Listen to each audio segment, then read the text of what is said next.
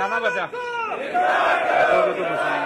हम आमिद मीर पर होने वाले हमले को कंडम करते हैं और साथ ही ये मुतालबा करते हैं कि मुलजमों को पूरी तौर पर गिरफ़्तार करें और साथ ही यही कह सकते हैं कि जियो आमिद मीर। अल्लाह ताला उनको सेहत दे जल्द उनको सेहत याब करे और हम उनको जल्द टीवी पर दोबारा देखें।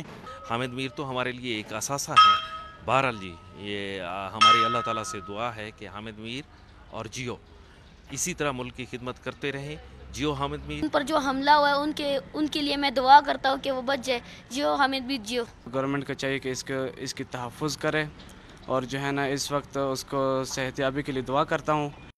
सबसे पहले तो हम आबिद मीर साहब पे हमले की जो है पुरजोर मजम्मत करते हैं। मैं अपनी तरफ़ से भी और एहलियान कोयटा की तरफ़ से भी।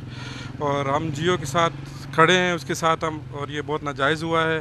बस इस पर बहुत अफसोस है हमें, बस उसको जल्द कैपिटल दोबारा आना चाहिए, बस अल्लाह पाक उसको सेहत दे, हम उसके साथ हैं।